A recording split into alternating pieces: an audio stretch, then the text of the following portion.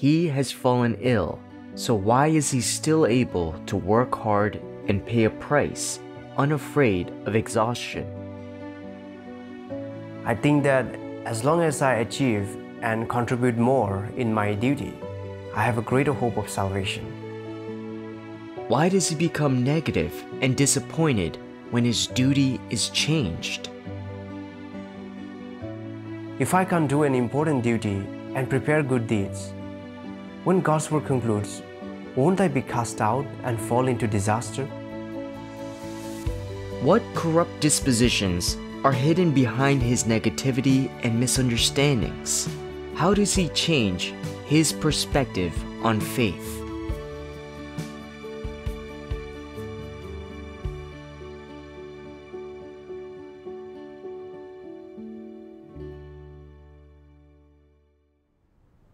I have always been prone to illness. I was diagnosed with aplastic anemia at the age of 11.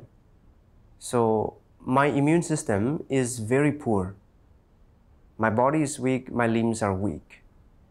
And uh, working a little too much is very tiring. When my condition is serious, I am basically bedridden. My doctor said that uh, when my condition was serious, I could be infected due to poor immunity, which would result in constant high fever. And if I was injured, my bleeding might not stop, which could be life threatening. After I accepted Almighty God's work in the last days, my condition improved, and I also performed a duty in the church. Many years passed and I didn't experience any symptoms of my illness. I saw that this was God's blessing and I was very grateful to God. Later, I began doing video production work. I felt very honored as the church's films and videos were testifying to God's work. And doing this work was especially meaningful. At the same time, I thought that if I worked hard to expand for God and made good videos that testify to God, I would have a share in these critical good. So not only would I gain God's protection and blessings, surely I would be saved by God and survive the great disasters. So I worked hard on principles and my professional skills and strove to produce more works that testify to God. Every time a finished video came out and uh, I saw a clip that I helped produce, my heart was full of joy and I felt even more motivation to do my duty. To make even better products, I proactively looked up information and learned related skills and discuss things together with my brothers and sisters. Sometimes the talks went until 3 o'clock in the morning. And I was already weak, so staying up so late was a bit too much for me. But then I thought, I haven't had any problems with my body over the years. And staying up late to study is to better perform my duty. I've also been somewhat productive in my duty. So I'm sure that God will protect me. As long as I do my duty, achieve more, and make contributions, I have a great hope of salvation. Even if I suffer more now, it will be worth it.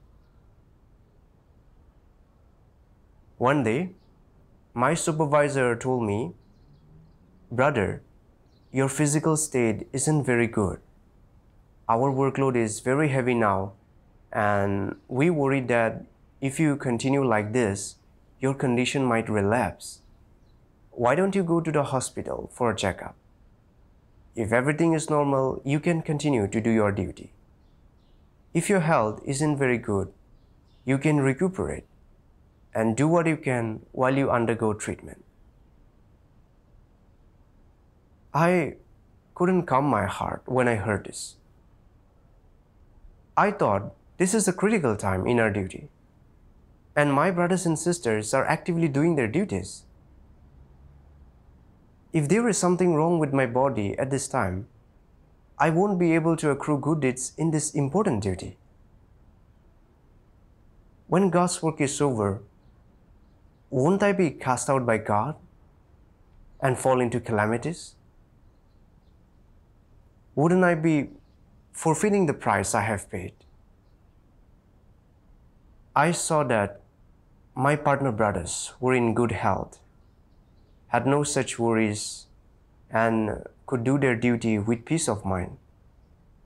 But I might have been about to lose everything. The more I thought, the more negative I felt. My future seemed bleak, and uh, I lost interest in my duty. In my pain, I pray to God, God, I'm so negative, and I have complaints and misunderstandings. I can't get myself out of this state. Please enlighten me so that I understand your will and my corrupt disposition and submit to your orchestrations and arrangements. Then I read these words of God. These days, most people are in this sort of state. In order to gain blessings, I must expend myself for God and pay a price for Him. In order to gain blessings, I must abandon everything for God.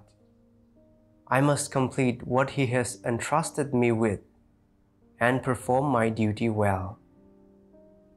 This is dominated by the intention to gain blessings, which is an example of expending oneself entirely for the purpose of obtaining rewards from God and gaining a crown.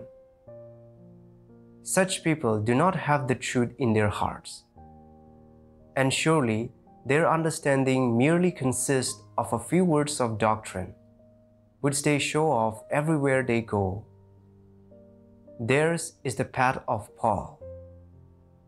The fate of such people is an act of constant toil, and deep down, they feel that the more they do, the more it will prove their loyalty to God. That the more they do, the more he will certainly be satisfied. And that the more they do, the more they will deserve to be granted a crown before God. And the greater the blessings they gain will be. They think that if they can endure suffering, preach, and die for Christ, if they can sacrifice their own lives, and if they can complete all of the duties with which God has entrusted them, then they will be those who gain the greatest blessings and will be certain to be granted crowns. This is precisely what Paul imagined and what he sought. It is the exact path that he walked, and it was under the guidance of such thoughts that he worked to serve God. Do those thoughts and intentions not originate from a satanic nature? It is just like worldly humans who believe that while on earth they must pursue knowledge, and that only after obtaining it can they stand out from the crowd, become officials, and have status. They think that once they have status, they can realize their ambitions and bring their homes and businesses up to a certain level of prosperity. Do not all unbelievers walk this path? Those who are dominated by this satanic nature can only be like Paul in their faith. They think, I must cast off everything to expend myself for God. I must be faithful before Him, and eventually I will receive great rewards and great crowns. This is the same attitude as that of worldly people who pursue worldly things. They are no different at all and are subject to the same nature. When people have this sort of satanic nature, out in the world, they will seek to obtain knowledge, learning, status, and to stand out from the crowd. If they believe in God, they will seek to obtain great crowns and great blessings. If people do not pursue the truth when they believe in God, they are sure to take this path. This is an immutable fact. It is a natural law. The path that people who do not pursue the truth take is diametrically opposed to that of Peter. God's word revealed my state precisely. I thought enduring hardship and paying a price to make qualified videos to contribute to the spreading of the kingdom gospel ensured that I could be praised and blessed by God, and in the end, I would be rewarded and saved. To achieve this goal, I suffered and stayed up late without complaining. But when I likely couldn't continue the work for physical reasons, I felt my desire to be blessed shattered. So my will to perform my duty was gone, and I didn't want to expend anything. I saw that I had always tried to transact in my belief in God.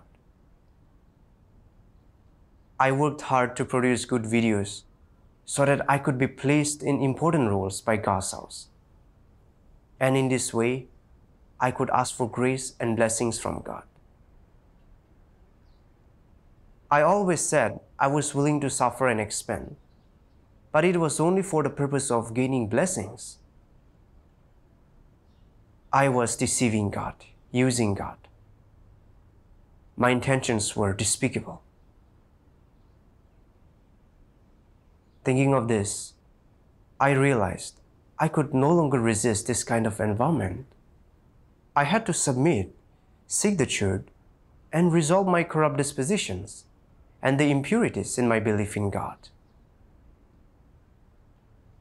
After that, I went to the hospital for an exam.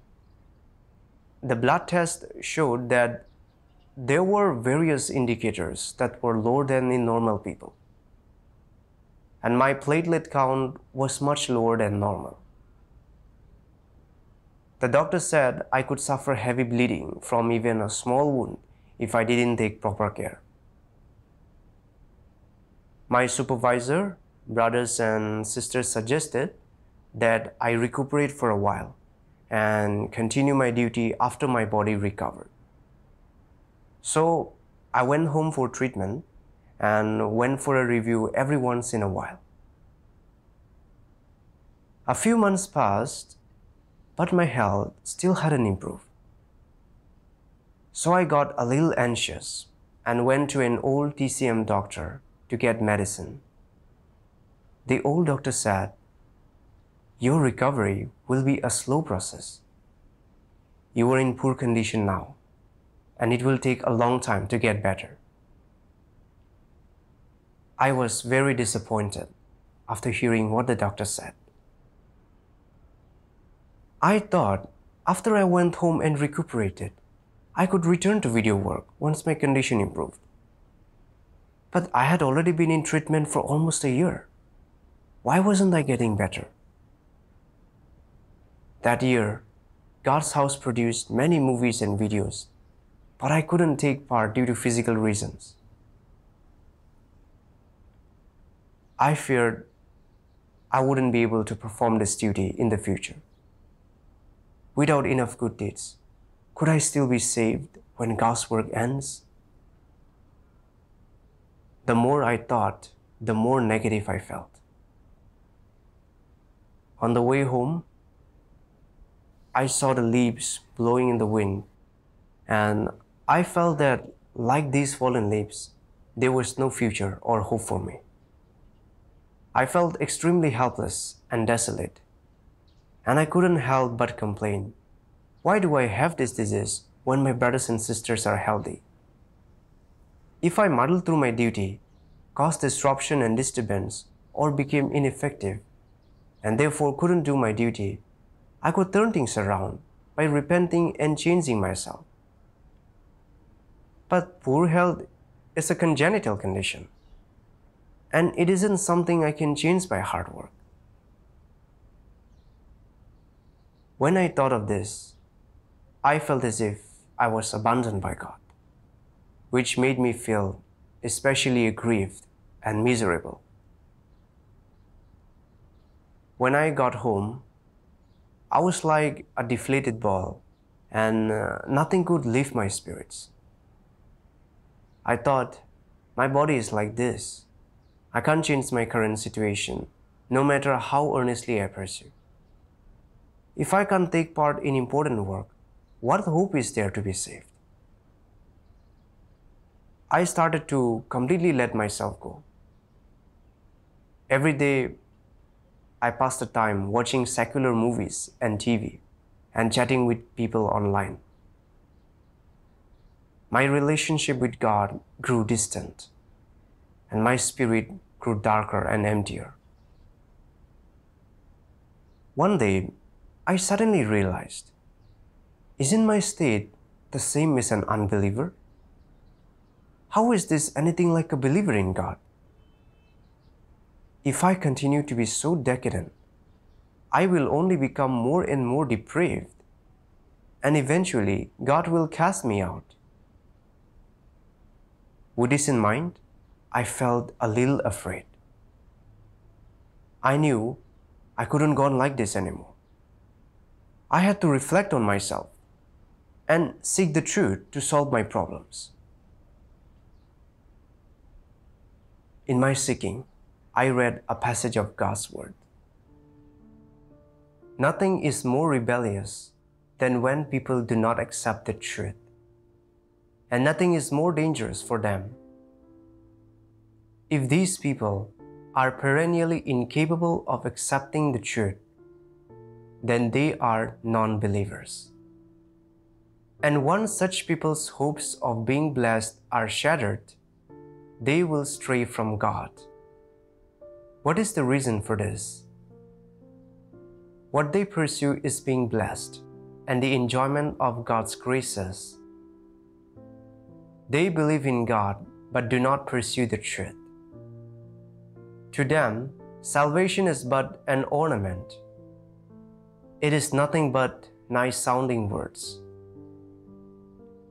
What they pursue in their hearts is being rewarded, being crowned, receiving benefits. They wish to receive a hundredfold in this life and eternal life in the age to come. And if they do not receive these things, they cease to believe. Their true face is exposed and they stray from God. In their hearts, what they believe in is not the work of God, nor the truths expressed by God.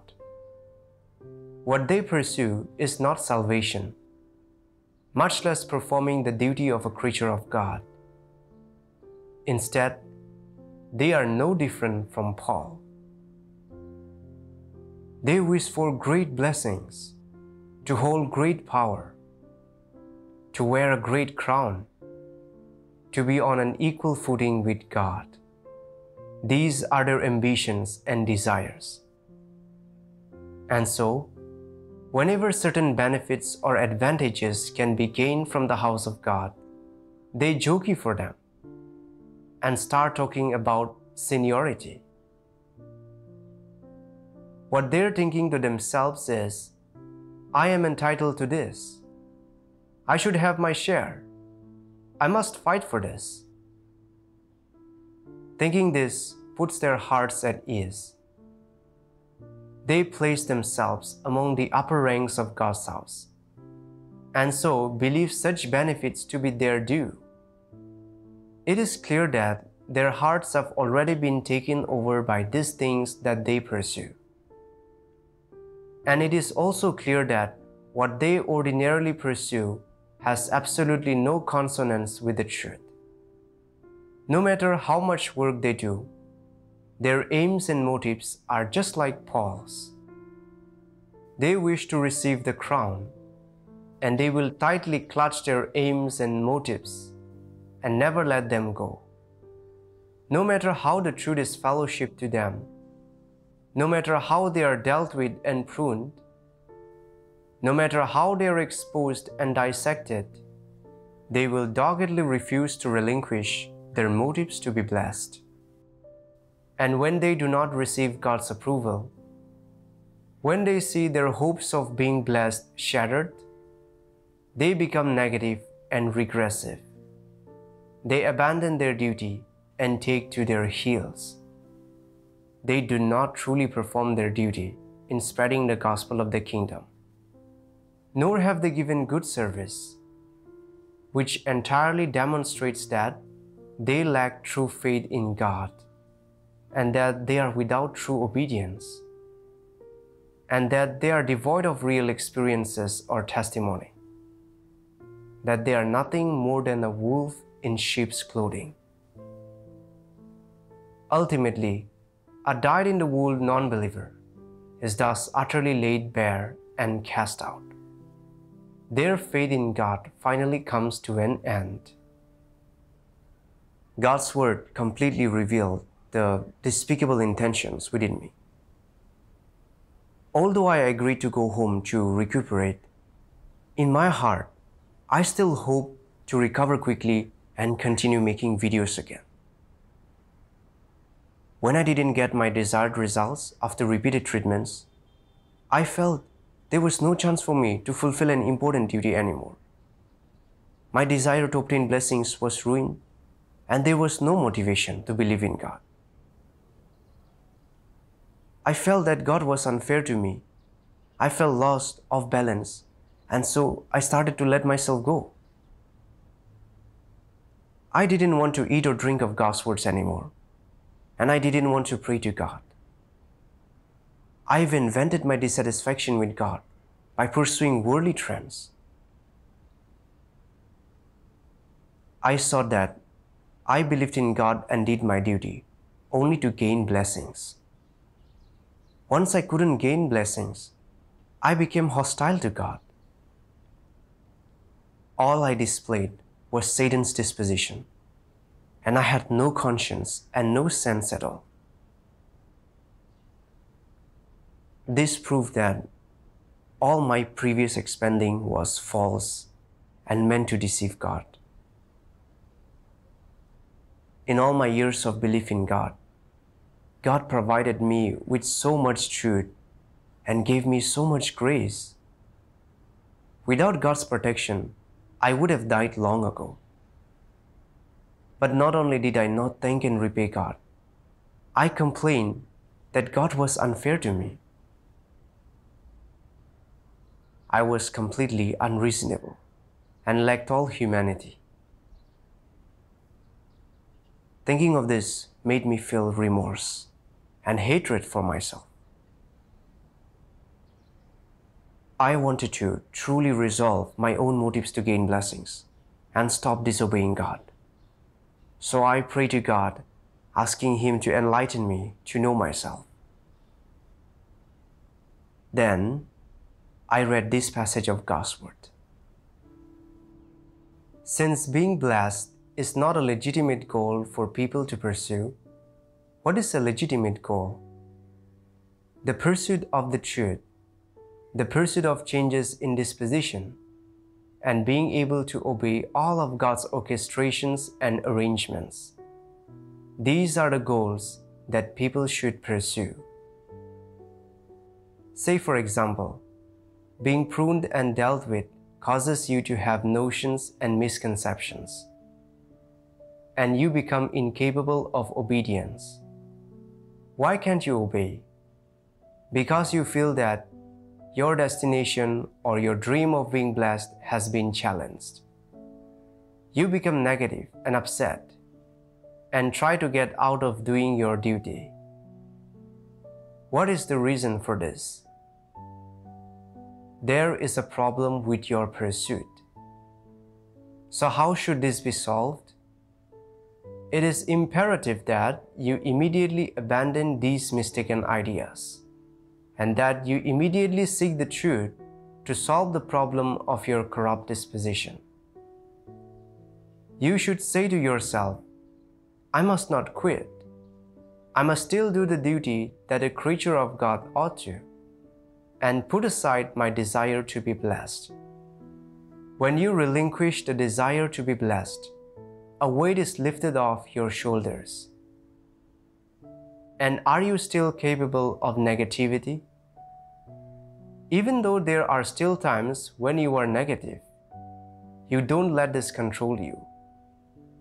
And in your heart, you keep praying and fighting, changing the goal of your pursuit from the pursuit of being blessed and having a destination to the pursuit of the truth. And you think to yourself, the pursuit of the truth is the duty of a creature of God. To understand certain truths today, there is no greater harvest. This is the greatest blessing of all. Even if God does not want me, and I do not have a good destination, and my hopes of being blessed are shattered, I shall still do my duty properly I am obligated to. Whatever the reason, it will not impact my performance of my duty. It will not affect my accomplishment of God's commission. This is the principle by which I conduct myself. And in this, have you not transcended the shackles of the flesh? In reading God's Word, I understood why I complained, became negative, and let go of myself when my desire to gain blessings was ruined. The root of the problem was my incorrect view of pursuit. What I pursued was blessings and a good destination. So I was always constrained by my future and fate. The moment my desire for blessings was ruined, I became too passive to go on. My desire for blessings was simply too strong. I am a created being. No matter whether I receive blessings and have a good destination, I should do my duty all the same. Even if I don't gain blessings, if I fulfill my responsibilities and duty, at least I won't have any regrets.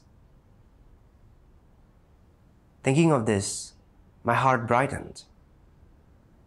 I had to practice better path pointed out in God's word. Let go of my desire for blessings, change my mistaken views of pursuit, and do my duty to the best of my ability.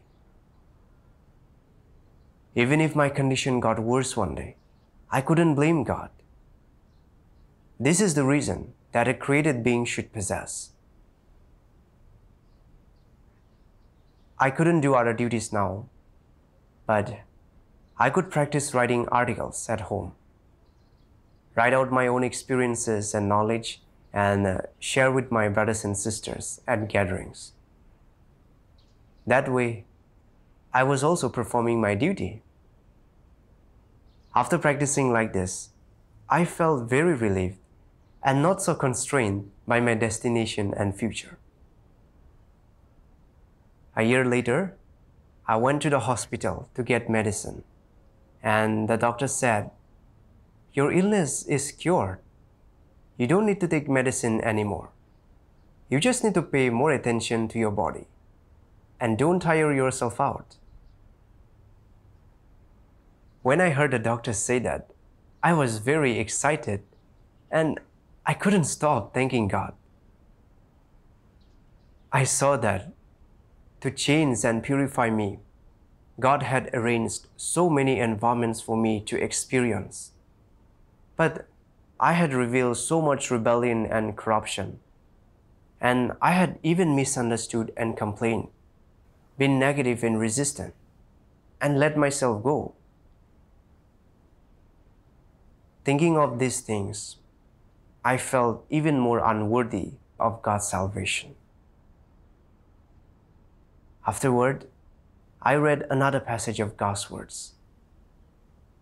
I decide the destination of each person not on the basis of age, seniority, amount of suffering, and least of all the degree to which they invite pity, but according to whether they possess the truth. There is no other choice but this. Exactly. God determines people's outcome based on whether they have the truth. And those who don't gain the truth in the end cannot be saved.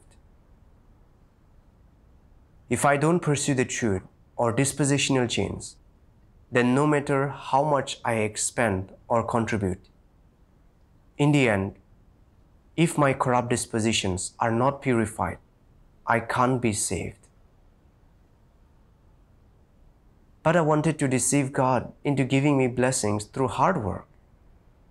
Isn't this nonsense? This was nothing but my wishful thinking. It outwardly seemed that I lost the chance to perform my duty because of illness. But through my sickness, my mistaken views and corrupt disposition were revealed, which allowed me to change things in time and start focusing on pursuing the truth. This was God's great protection and salvation for me. Thinking of this, I felt a great sense of remorse and indebtedness to God. So I knelt down before God and prayed God, I wish to reverse my fallacious views of pursuit. I don't want to pursue blessings and rewards anymore. No matter what duty I do in the future, I wish to pursue the truth, pursue dispositional change, and fulfill my duty to satisfy you. Next, I read some words of God, and my heart became a little brighter about how to deal with my duty. To perform your duty adequately, it does not matter how many years you have believed in God, how much you have done in your duty, nor how many contributions you have made to God's house. Much less does it matter how experienced you are in your duty. The main thing God looks at is the path a person takes. In other words, he looks at one's attitude toward the truth and the principles, direction, origin, and impetus behind one's actions. God focuses on these things.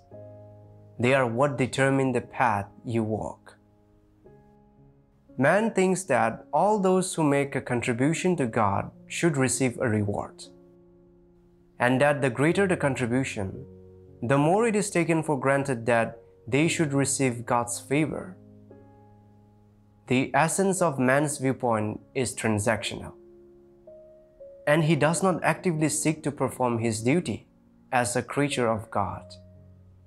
For God, the more that people seek a true love for God and complete obedience to God, which also means seeking to perform their duty as a creature of God, the more they are able to gain God's approval. God's viewpoint is to demand that man recover his original duty and status. Man is a creature of God, and so man should not overstep himself by making any demands of God, and should do nothing more than perform his duty as a creature of God. The destinations of Paul and Peter were measured according to whether they could perform their duty as creatures of God, and not according to the size of their contribution. Their destinations were determined according to that which they sought from the beginning, not according to how much work they did or other people's estimation of them. And so, seeking to actively perform one's duty as a creature of God is the path to success. Seeking the path of the true love for God is the most correct path. Seeking changes in one's old disposition and seeking the pure love for God is the path to success. Such a path to success is the path of the recovery of the original duty, as well as the original appearance of a creature of God. It is the path of recovery, and it is also the aim of all of God's work from beginning to end. After reading God's words, I understood there really is no high or low in the duties. Whether people can be saved doesn't depend on what duty they do, how great they work, or what they achieve. As long as you pursue the truth, actively fulfill the duty of a created being, and achieve a change in your disposition, you can gain the truth and be saved by God. Pursuing being effective in your duty and contributing to God's house is not wrong in itself. As long as your intention is to testify to God and you are able to seek the truth and act according to principles in your duty, you can gain God's approval. So, doing a duty is not a tool for profit, nor is it a bargaining chip for rewards. It is the responsibility of a created being.